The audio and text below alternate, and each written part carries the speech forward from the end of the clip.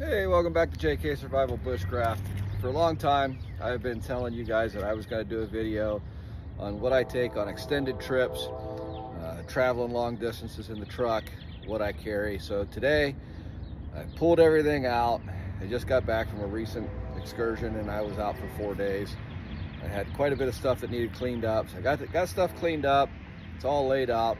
In the meantime, I also went through the truck, got the truck all cleaned out on the inside, and storage and everything else, got everything ready. And just wanted to show you some stuff that I take when I'm traveling across the country or moving around a, a relatively longer distance. Now, some of the stuff is redundant uh, and it stays in the truck, but I also have everything broke down. So if I'm gonna go on a bushcraft trip, I just grab a certain bag and I go.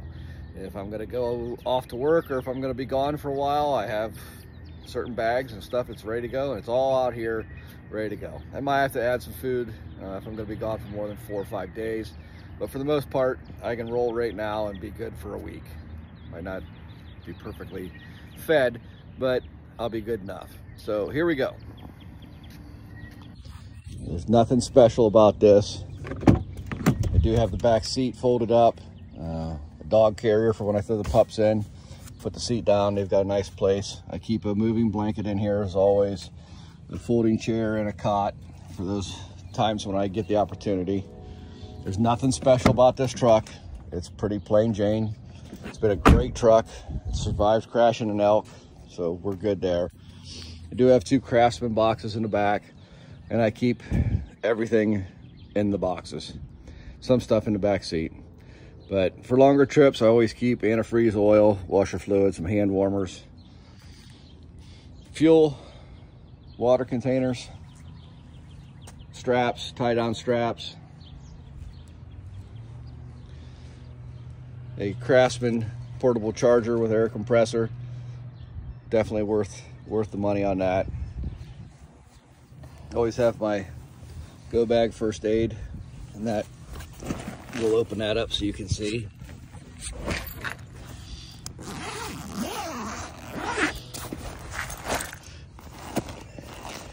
And it has just about everything you could possibly need as far as minor injuries or upset stomach, colds, flu, bandages, scissors, plenty of gauze. I also keep a shemagh in there, gloves, everything, everything I need and maybe, maybe a little bit more. QuikClot, you name it. Always a hiking stick somewhere around. A tool bag just has wrenches, socket set, safety glasses, tape measure, some wrenches. Nothing out of the ordinary there. A complete socket set, complete screwdriver set. Oh, I just bought brand new jumper cables a couple months ago. Road flares, tire repair kit, a machete, a bigger screwdriver, wire brush, folding shovel, and then a regular shovel you can never go wrong with uh, tie wire, duct tape. Gorilla duct tape's the best. A beater, an adze, removable handle, and then a tow chain along with a strap. In this black bag right over here, all of this clothing fits in there. I always keep a heavier winter coat, waterproof coat, a lighter weight winter coat, a high-vis vest, a welding jacket, a pair of summer bibs, a pair of winter bibs, a pair of winter fleece lined pants, and a hoodie. Hand protection is important. I've got just about every glove you can think of, from welding gloves to winter gloves to you name it. A couple pair of extra socks, a beanie, a hard hat, face mask, extra pair of boots, dark safety glasses, clear safety glasses, both of them with cheaters. I do uh, have to wear contacts now. And then your emergency bucket, that's toilet paper, paper towels, bug spray, some extra trash bags in case you have to do the number two. We're gonna go over this. This is a, uh, well, y'all probably know what this is. This is my, my load out pair of boots with extra socks in there, this is actually kind of a neat little box.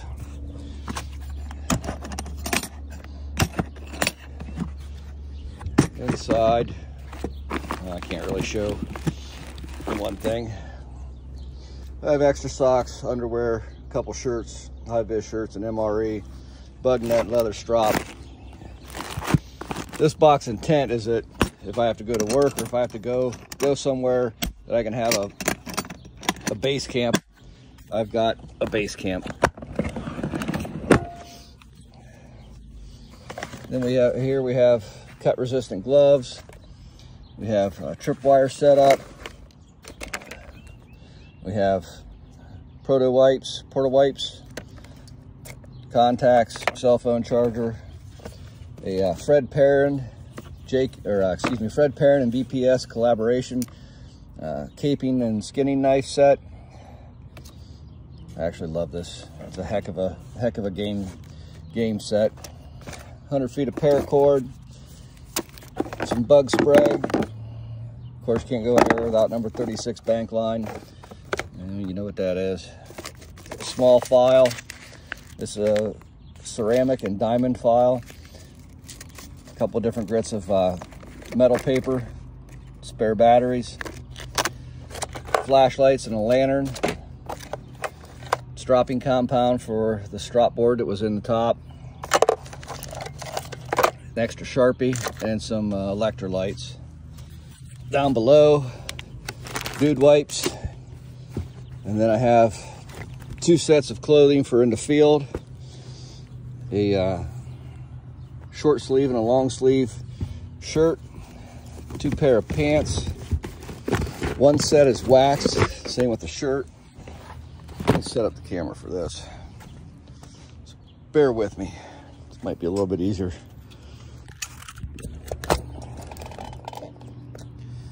Zoom in a little bit. So this is a pair of the wax pants that I made. They have knee pads. It comes with knee pads. A belt knife, pocket knife, P38, a good belt, it's a quick detach belt, and then in each cargo pocket,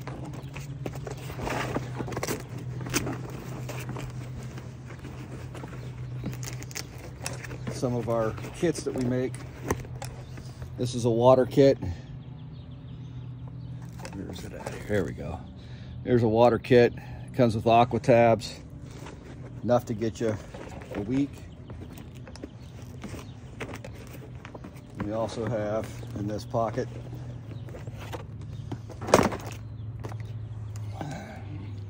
one of our fire starting kits. This one comes with a uh, 3 8 by 3 inch ferrocerium rod, some wax jute rope, some fire plugs, a piece of flint that you use as a striker, and a tempered hardened nail. Seen some of my other videos, you know what that's for. Our fishing kit. This comes with everything you need to run a trot line. There's fishing line, there's number 15 bank line, waxed bank line, uh, many different assorted size hooks, treble hooks, all the way on down to sinkers, swivels, a bobber, and a quick deploy fishing trap. And then in this pocket, we have our signal kit. We have our signal kit. This comes with uh, a mirror, a cheap little headlight, of course the orange signal cloth, some chem lights, uh, some marking tape. A lot of people out in the woods use marking tape to mark different things. Uh, it's an actual good little kit if you ever need to signal for rescue. That's the pants. The wax shirt is the same, same material, same brand. I do keep a Mylar. We'll get the better look over here because I got it laid out, but I do keep a Mylar emergency blanket in the breast pocket. And then a second set set up the, the exact same way, just not waxed. The waxed clothing works great in the winter. And if it's pouring down rain, also have a hoodie. You can never go wrong with having a hoodie. A extra pair of tennis shoes.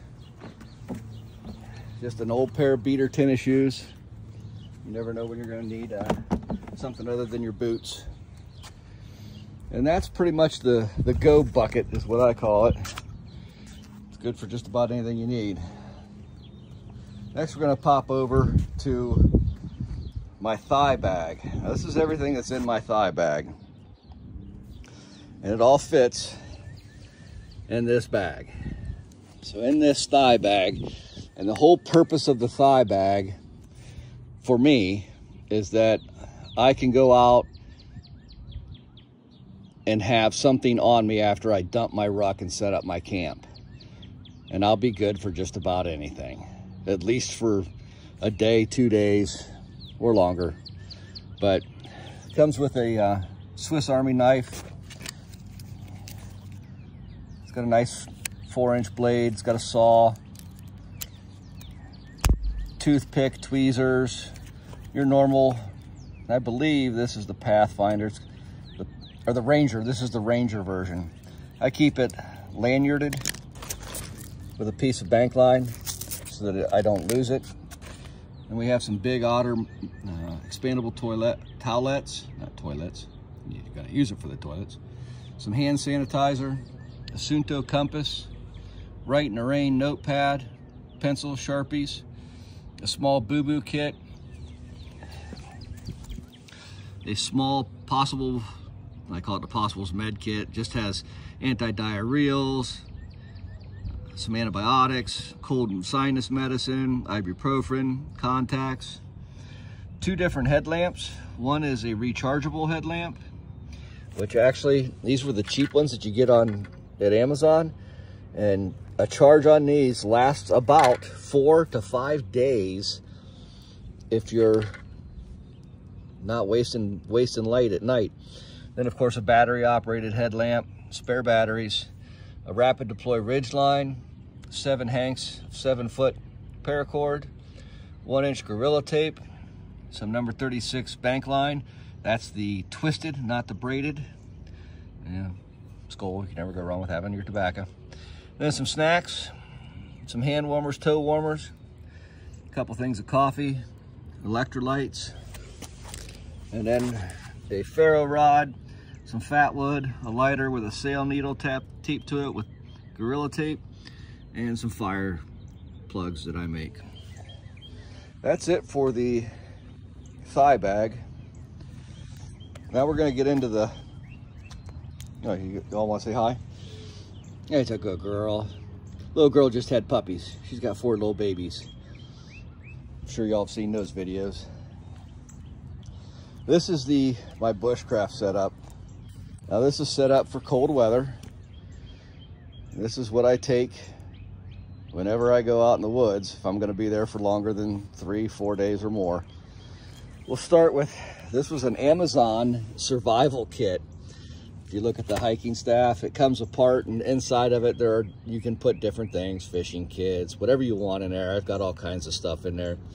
Um, the one thing I did change with that is I did never seize every connection. Uh, put a piece of high-vis paracord lanyard on it. Uh, I hike with a staff. Uh, it, it, just makes life a lot easier for me. I wasn't real sure about this kit. It was a gift, and I have to say, after using it, while the shovel is small, the saw blade does does work. And when you put an edge on this, it'll cut through brush, shrubs, and it'll dig a hole. Course, it has the can opener and the different wrench sizes. Um, I don't know if anybody ever uses that the pickaxe section of it. It's actually useful. And then of course I keep a Silky GomBoy, pair of work gloves, and you just take the staff apart to put onto the handle of either the mattock or the shovel to use it. I also keep a Monster Leviathan fire starter in that specific kit. Then I have a big blue 28 watt solar char charger I use that to keep all my electronics up, my phone, all my camera gear, microphones, my Yaesu, which fits right into here, ham radio, another headlamp. We're testing that one, so I don't know how that one works. a Grayl. Don't leave home without a Grayl. My Garmin GPS Map 66i. Lifesaver. Some chem lights. Some more uh, expandable towelettes. And another Leviathan fire starter. Don't really need that in there. Got plenty. Some hand sanitizer. My Council Tool axe, boy's axe. Great axe.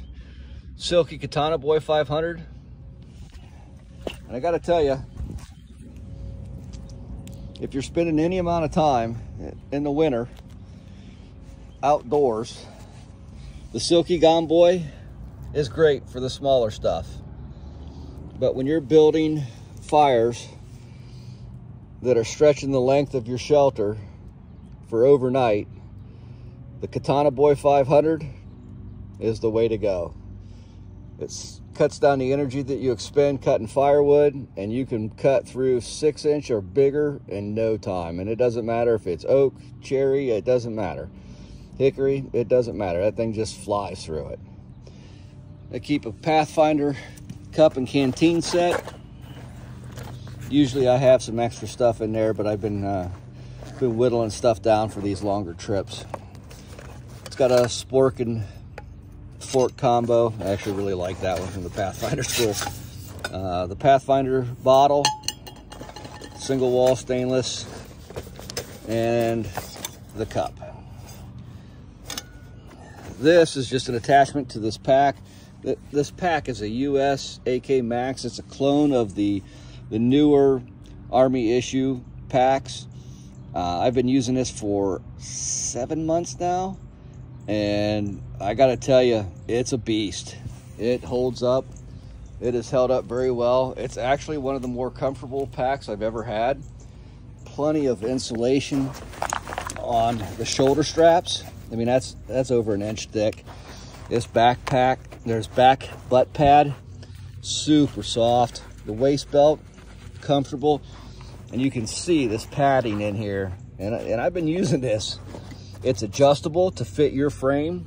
So if you're have a longer torso or shorter torso, you can adjust it to fit.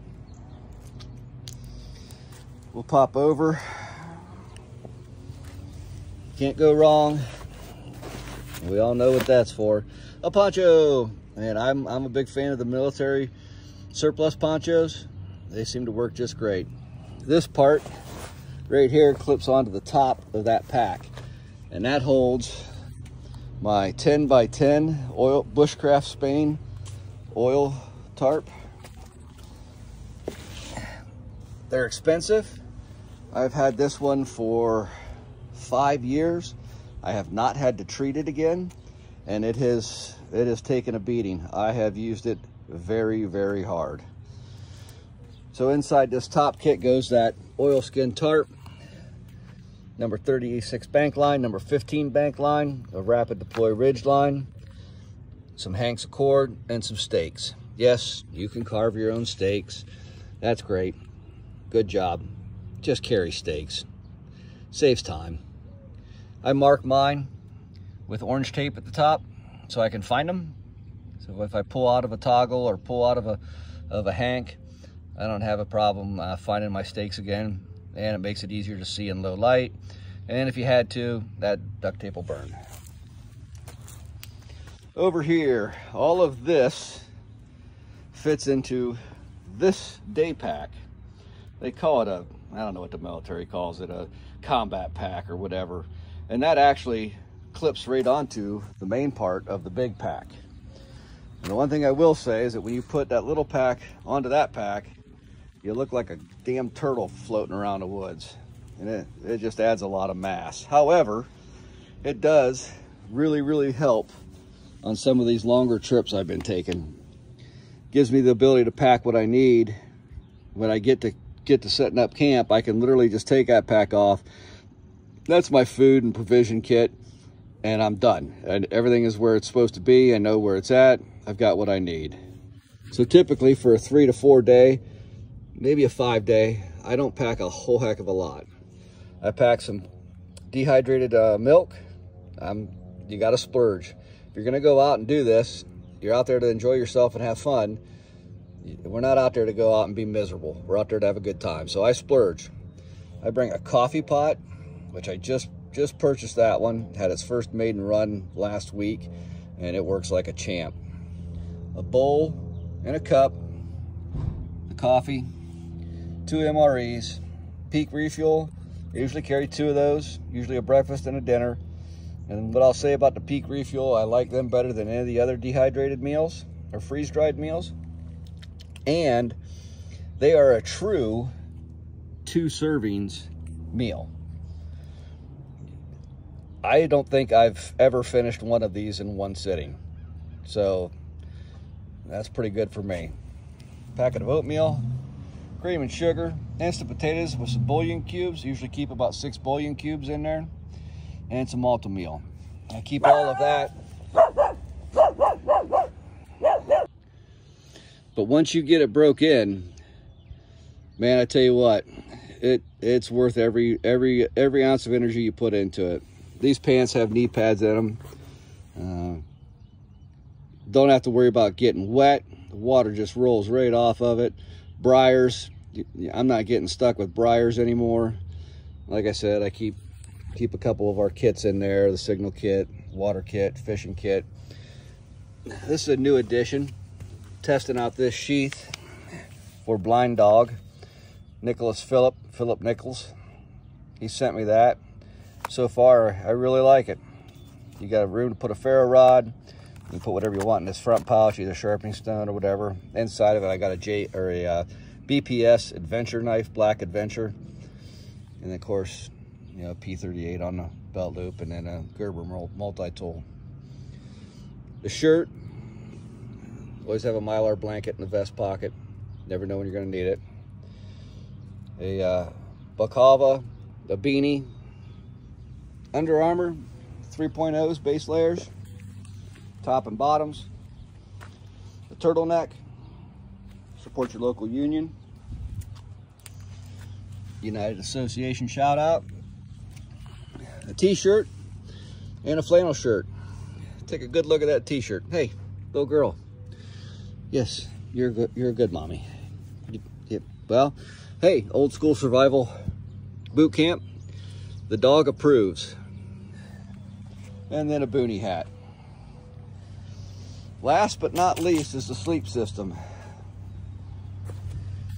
And I, when I was in the military, we didn't have this type of sleep system. We had a down-filled sleeping bag and that was it. The bivy bag is worth its weight in gold. Comes with two sleeping bags, an intermediate, and then a heavier one. And you're not gonna get cold in these. You're just not. If you know how to build a shelter and you know how to build a fire, you're not gonna get cold.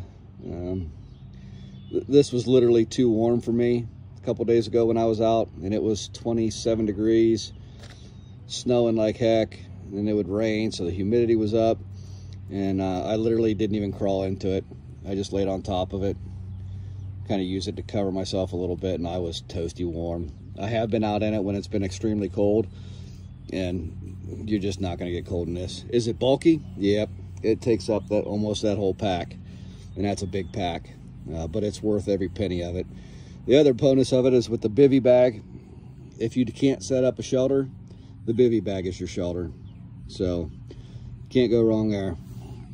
Now, a lot of people think that when you're going out and you're bush crafting, quote unquote, that you don't have to be comfortable. Well, I'm getting a little bit older, and I gotta tell you, wife got me a hiking air mattress from Powerlix. I've had this for two years now. Never punctured a hole in it, and it makes all the difference in taking a, a good good nap or getting some sleep. So that's my setup. We're gonna break everything down later on and go into more details. Oh, I forgot I always keep keep a pair of safety glasses in my pack. These are actually shooting glasses. Comes with a couple different lenses and a nice hard case. If I can open this up. In a bag with uh, clear, dark, and amber lenses. There's, uh, there's something to be said with protecting your eyes, especially if you're uh, you're busting through the brush. It's worth every penny of it. Last time I weighed all this for the bushcrafting section of what I just take bushcrafting, I think I'm rated about 46 pounds. That's with my canteen filled up. And usually I have a three liter bladder that goes in the pack or on my back. But I also train with heavy packs and do a lot of heavy rucks. So it's a heavy loadout, but I can go out in any conditions and be perfectly fine. I'll edit this and get this sent out to you guys and hope you enjoy it.